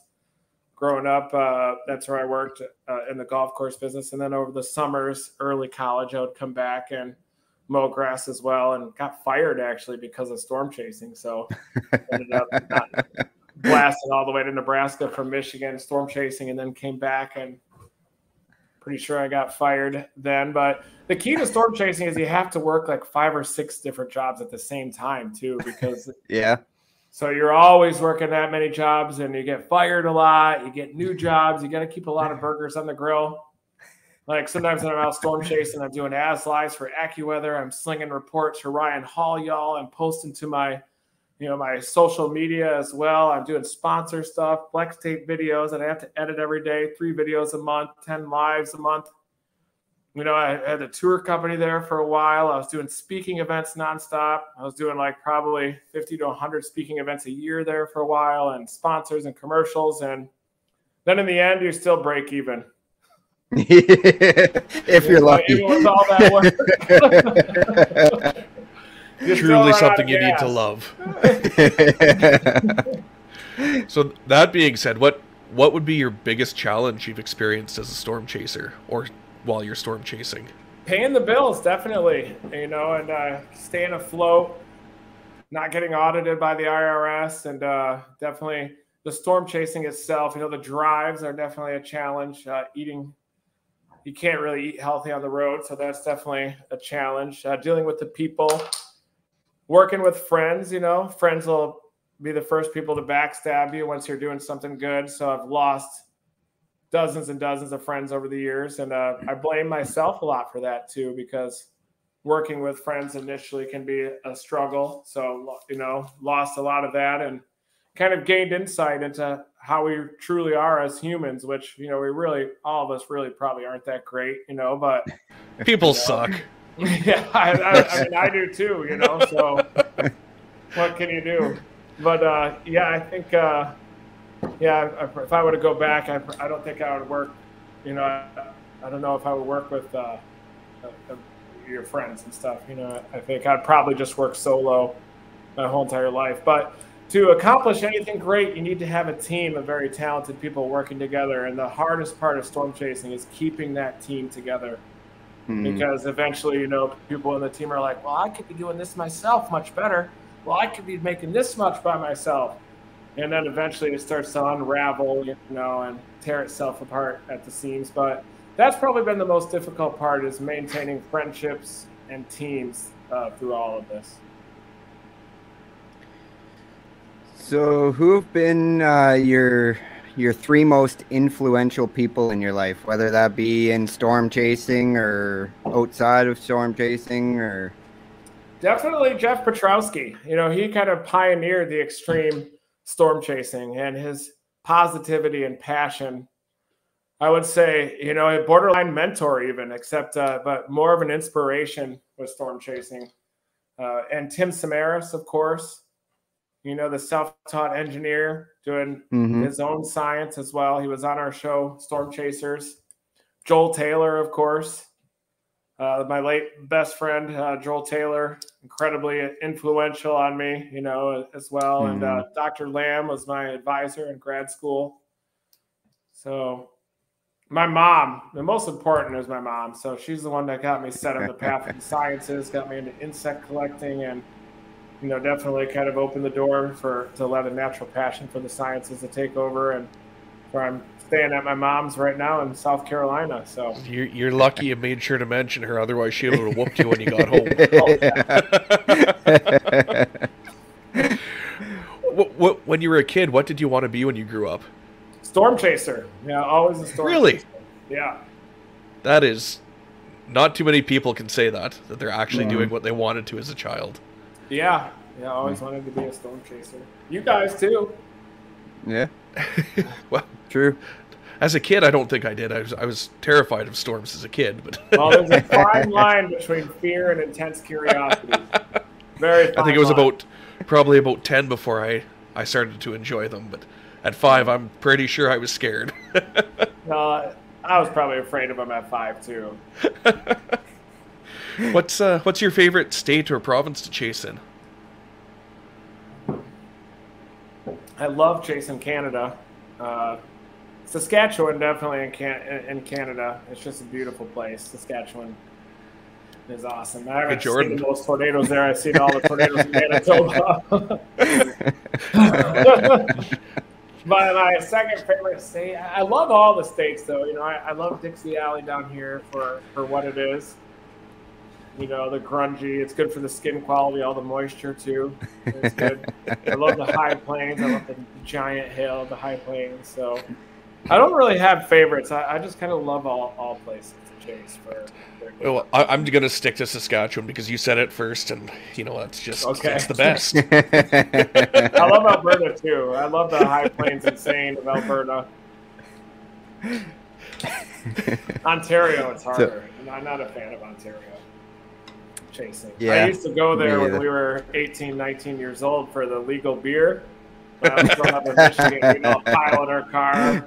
We'd get up to the border and they'd be like, "Sir, why are you coming to Canada?" We'd be like, "Uh, I, I, I don't know. You know, just go visit."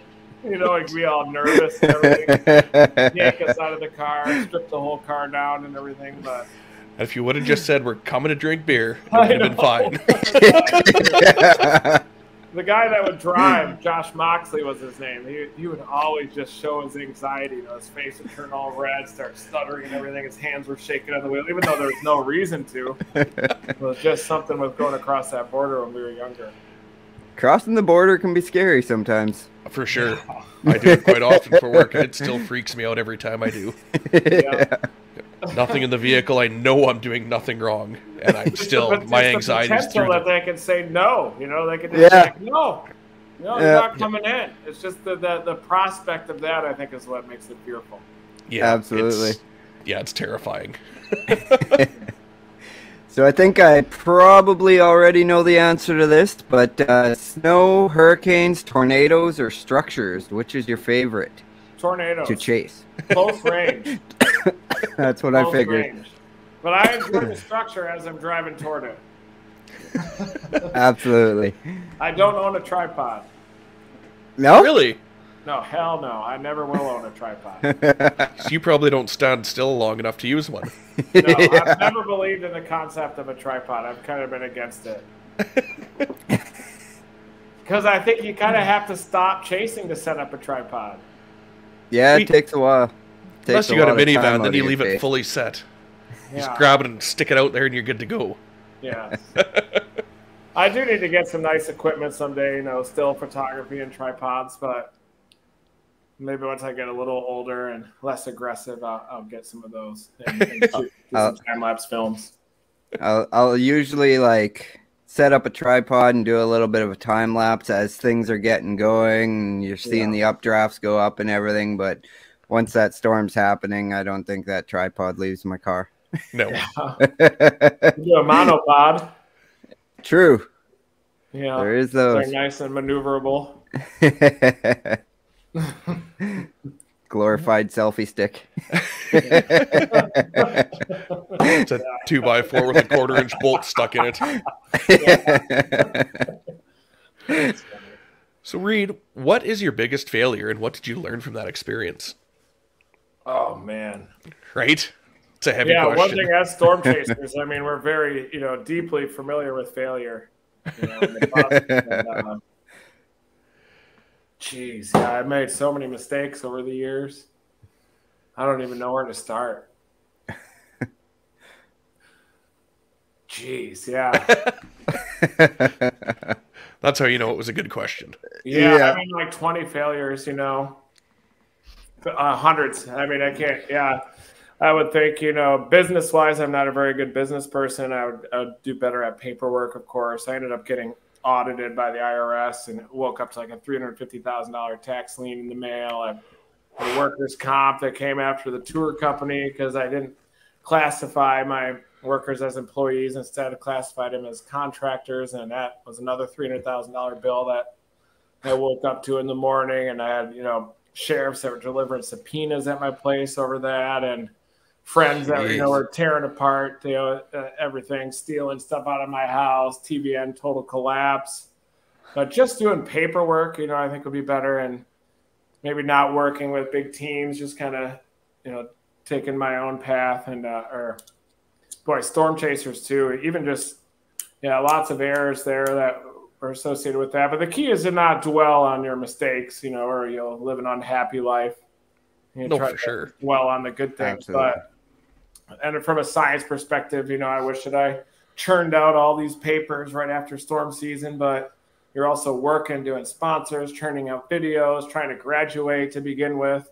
Finally, we have our rocket paper that's about ready to be published. It's like 37 pages long. And the, the hard part is taking a big document like that and really shrinking it down Mm. to uh, something that, you know, is, is acceptable by a publication. And now at this stage, now that I'm in my 40s, you know, I've kind of worked so hard over the last 20 or 30 years that my brain is kind of fried out, you know, so you can't really uh, fix all those mistakes that you made in the past. And you just kind of have to chase and, and live storm to storm. Learn know, from live and grow. Yeah. Yep.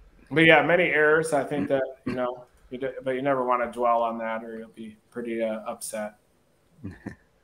Right there, Chi T says, yes, learn from and grow. I mean, Learn all the from it and busts, you know, I mean, man, I've had tens of thousands of busts and uh, you know, situations where I drove all the way up to Canada and didn't see anything. And I've had beater vehicles that have been trashed, and I've had a divorce, you know, failed marriage. Obviously, I wish that I worked better on that. So, yeah, I mean, you know, never stop chasing comes with a comes with a price. it does. It does. So, looking back at all the amazing weather events you've covered over the years, which one stands out the most to you, or is the most important to you? Uh, yeah, that's a tough one. um, definitely the rocket launch on May 28, 2019, just because we really broke through launching mm. a sensor into a tornado that actually worked, actually streamed the data back live.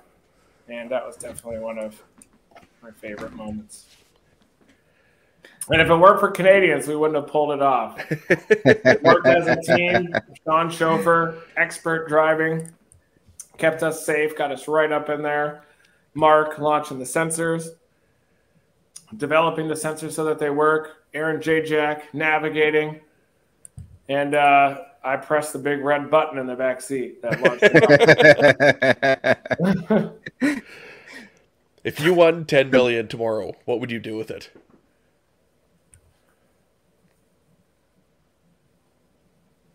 Dominator Five. Probably parlay it into some really low cryptocurrency or something and buy an NFT. buy one. Buy one of those Bored Ape, those ape NFTs and then put it on my Twitter profile.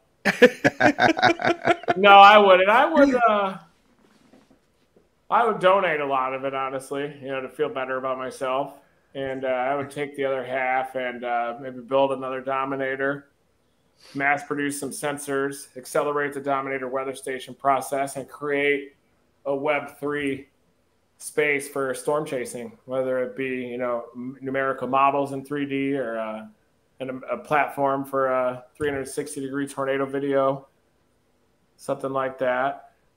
I hope you win ten million dollars. I probably wouldn't be slinging as many weather reports. I would, I would, I would just storm chase. There wouldn't be any weather reports. No weather reports, just pure chasing. I'd, I'd pay somebody to finish this publication. it's all the stuff I don't want to do. Someone else can do it. Yeah, yeah that's it. I think that's what most people would probably do with it. But uh, I would donate as well, Do you know. But even that, you know, could be viewed as a selfish act because you're just trying to make yourself feel better about yourself, you know. But I think it's also important to. Uh, You'll never win, man. Help others. Yeah, no. you can't win. You'll never make all the people happy all the time. Yeah, no. that is for sure. so, what songs would we find on your Storm Chase Storm Chase playlist? Well, I like a lot of uh, Bob Dylan and Tom Petty. I like some old school rap. You know, like that Super Bowl halftime show. Oh, here recently, right up my alley. Fifty Cent dropped out of the oh. ceiling there. Looked that a little just... bigger than what I remember, but we all we all are. We all do. yeah. yeah, I was good at uh, some of those. Especially after COVID. Yeah. and some top 40. You know, I like the top 40 as well.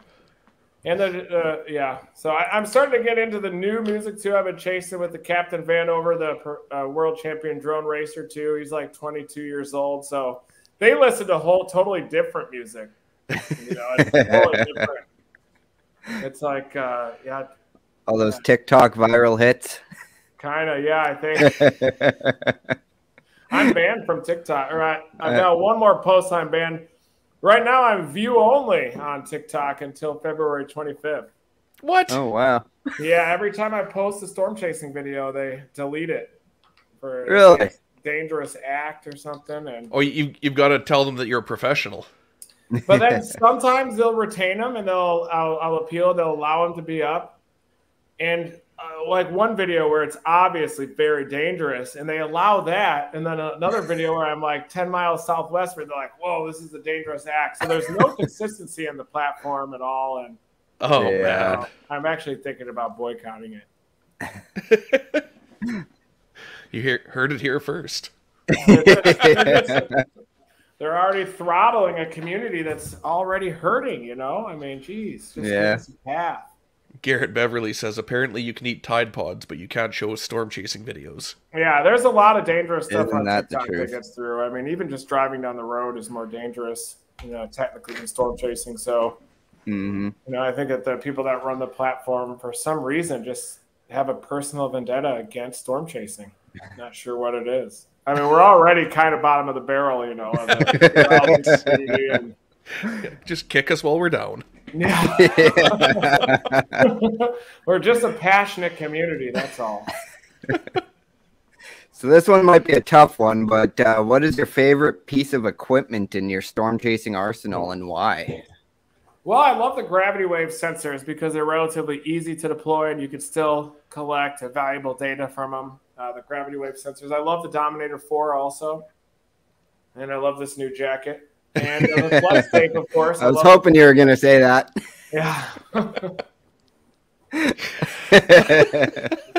yeah, I'm not sponsored. I wear this because it's a nice jacket. You know, and I like it. You know, I wear it in, in public. I, I have more confidence.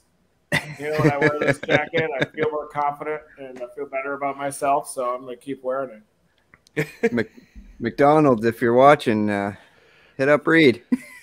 I'll eat McDonald's anyway. If you could be remembered for one thing, what would it be? What would you want Never it to be? stop chasing. That's it. Perfect. Perfect. That's it. Um, you know, I don't. I don't need to be remembered for anything except that. Never stop chasing. I love it. What is one piece of advice you'd give to somebody starting out as a storm chaser? Well, the hardest part is getting to the target and showing up. Uh, it's important to show up, but the obvious advice that I have to give is know what you're doing first. Go with somebody that knows what they're doing. Attend a Skywarn training course.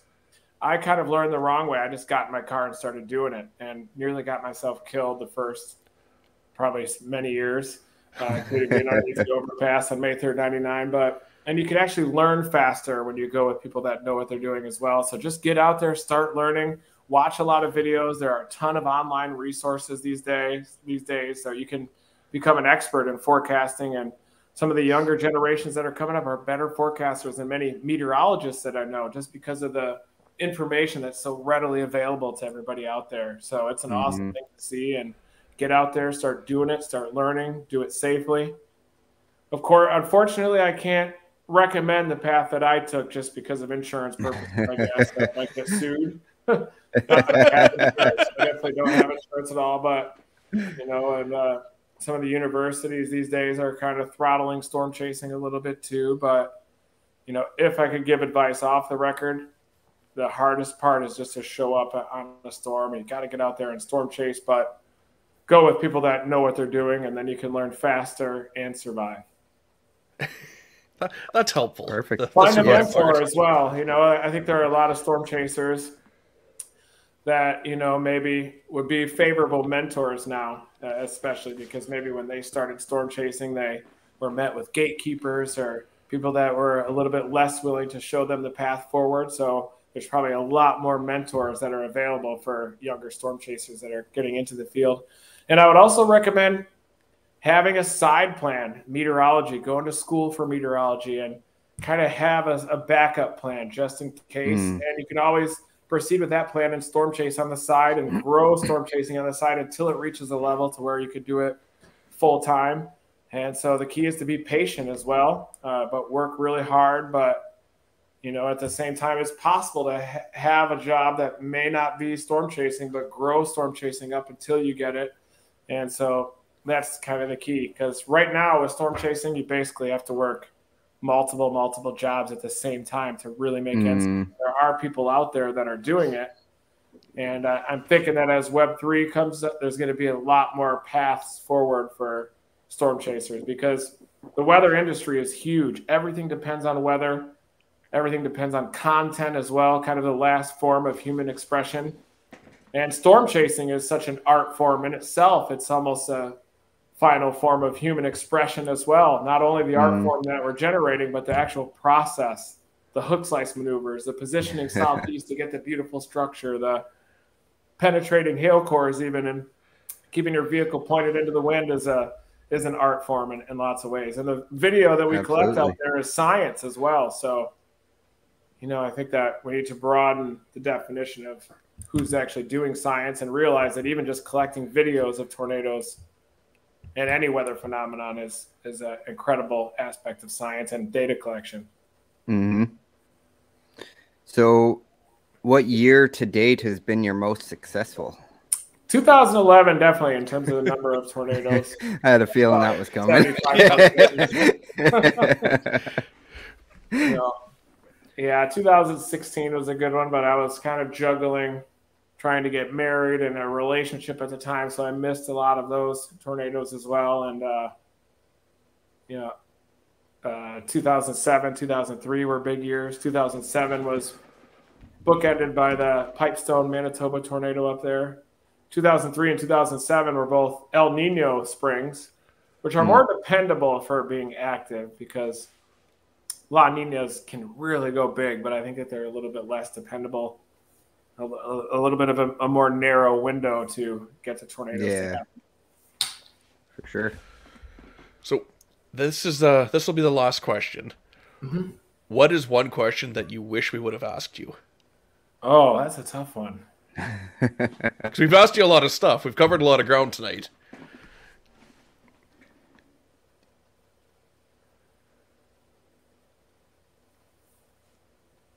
Man, I don't know. You guys asked a, a lot of good questions.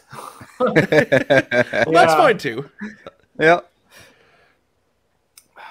Uh, about the fl- flash floods and debris flows, maybe something related to that, which is kind of a passion that I learned from David Rankin, who was one of the original flash flood debris flow chasers. Rankin Studio is his YouTube page, but he grew up in uh, Big Water, Utah, predicting and tracking those debris flows and happened to teach me his craft. And uh, I've definitely really enjoyed chasing down these flash floods and debris flows in the Mountain West and in the desert Southwest kind of thinking like a fluid combination of atmospheric sciences and geography and knowledge of topography.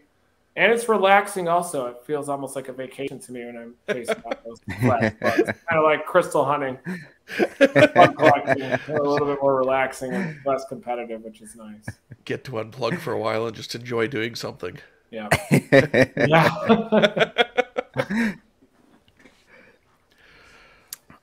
well, there it is. it is so, time for today's game show. And in honor of the McDonald's coat, we figured we'd go with a fast food theme for the trivia okay, tonight. That sounds good. so we'll ask a question, and you'll get it's it's all multiple choice. So we'll give you four four options to choose from. Okay. And we'll uh, we'll see how you do here. So the first question is at what sub shop is known for its toasted subs? Is it Subway, Zero Subs, Quiznos, or Jimmy John's? Subway. Does no! anyone want to guess in the comments? It is definitely Subway when you say, "Oh, can I get this toasted, please?" Subway. do we have a guess in the comments? We do yeah, have a winner. The, it was it's Quiznos, buddy. I disagree because they had the whole toasted line. You can get a sub that wasn't toasted. No, I'm gonna have to disagree. You can get Subway untoasted. So originally found in night. Originally founded in 1981, Quiznos specializes in toasted sub sandwiches. Subway, the largest submarine sandwich shop, eventually followed suit, being offering the option in 04. But they followed suit means that they're are they known for it now? I guess probably. Guess okay, now, yeah. Fine, if you want to argue it. That's what I do. If I get a wrong answer, I'll attack the test. the professor's fault. Good lawyer there. So, question number two is What is the oldest soft drink in the USA? Is it Coca Cola? It's Coca Cola. Yeah, I think they invented. Did they buy out Dr. Pepper? So everybody knows the popular drink Dr. Pepper ever since it was created in the 1880s in Texas. Um, I bet even some people consider Dr. Pepper as the national drink of the USA? I still think they would guess Coke, but I love that. I like Dr. Pepper. It's good. All of So it's no- good for you. My nieces are not even allowed to have Coke or any soft drinks. They've never had a Coke before. What? that? Yeah. Wow. One of them is 12 years old and she's never had a Coke. Oh man. They've been Look out. brainwashed into thinking it's bad, so I drink a Coke and they're like shaming me. Do you know what's in that? yeah. Nope, but it's good. yeah. Yeah, we're the generation that grew up on Hi-C ecto cooler, you know, the Hi-C Right. outside green, and we'd have a little bottle, like a, a little nipple that pulled the Hi-C out of it every morning. Starting Pixie the day off with high sticks and- corn syrup. All right, number three. Where was the origin of oh. pizza? Paris, France, Florence, Italy, New York, USA, or Naples, Italy? I'm thinking you guys put the Italy ones in there to throw me off, so I'm going to guess Paris, France. No, sir. Okay. Zach Walters got it right. It is Naples, Italy. So we all Wow. know that pizza belongs to the Italian dishes, but everyone should try their Neapolitan pizza. Italian cuisine. Well, this doesn't even. This wasn't even a fact. Sorry, I, I copied this off the internet, so it's uh, it, it is not a fact about Naples. It's just a fact about pizza. Man, the news is coming in right now. It sounds like Russia has invaded Ukraine and officially declared war. Oh, Oh, Not good. I just got a photo of this big explosion on here. Damn it! Yeah. That makes the oh man. that's gonna get bad. Yep. So, uh, on that note, Bring down the trivia. question number four is why did Kentucky Fried Chicken change its name to KFC? A competitor sued them. They did not like the word fried. They were not really from Kentucky, Three. or the government forced them to. Three, not from Kentucky. Competitor sued them. No. They did not like the word fried. Nailed it. First try. Thank you. So Kentucky Fried Chicken changed its name to KFC in 1991 because it planned to offer a more varied menu and wanted to eliminate the unhealthy connotation of fried from its name. And it Not worked. sure how well that worked. When did Taco Bell first open? 1961, 62, 63, or 64? I know it was somewhere between 1961 and 64. We'll go with 64. No, sir. Owner Glenn. I should have known you guys would put it in the middle. So owner Glenn Bell actually opened in 1962. Wow. Okay, you got to know this one, Reed. Okay. When was the first Happy Meal sold? 79? 1982.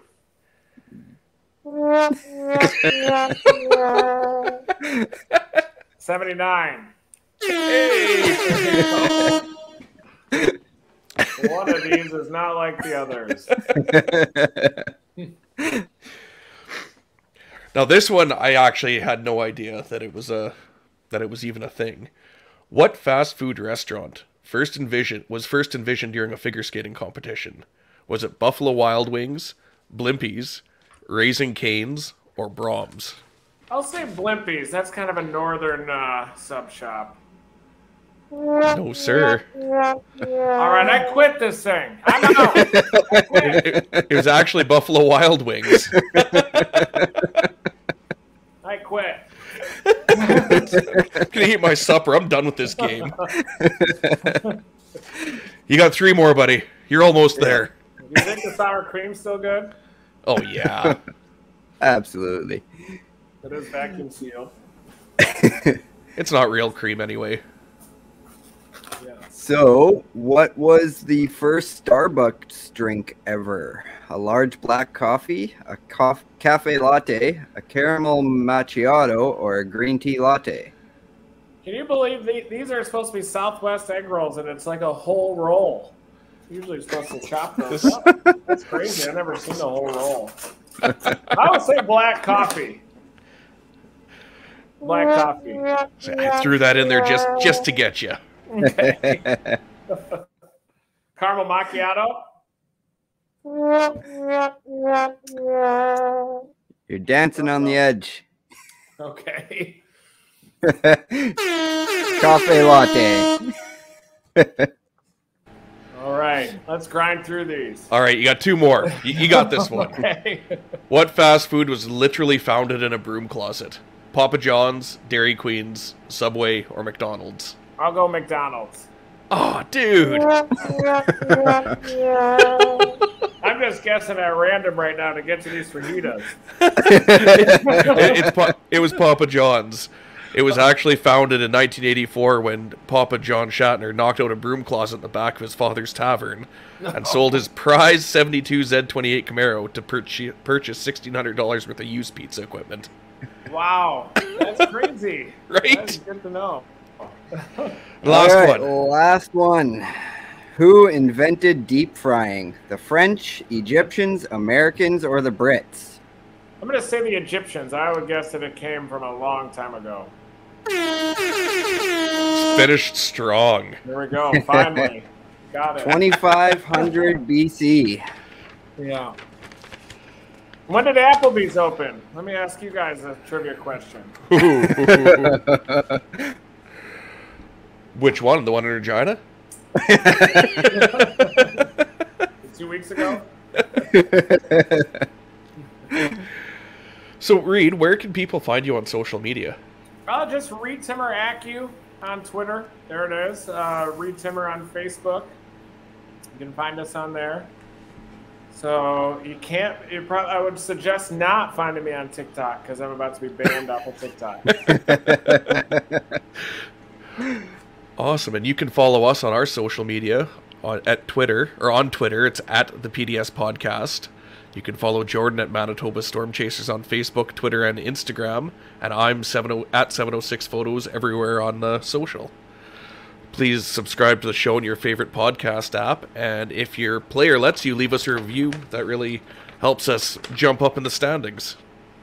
And uh, become a supporter on Facebook for the chance to win exclusive merch and prizes. And don't forget to head over to mbstorm.redbubble.com for your Storm Chase apparel needs. Uh, make sure you tune in for episode 11 live on March 8th with special guest Jessica Moore. And thank you again to Reed for joining us tonight and for everybody who watched us live. Thank you guys so much. Thanks, man. Appreciate it, everyone. Have a, have a good night. It's an absolute honor being on the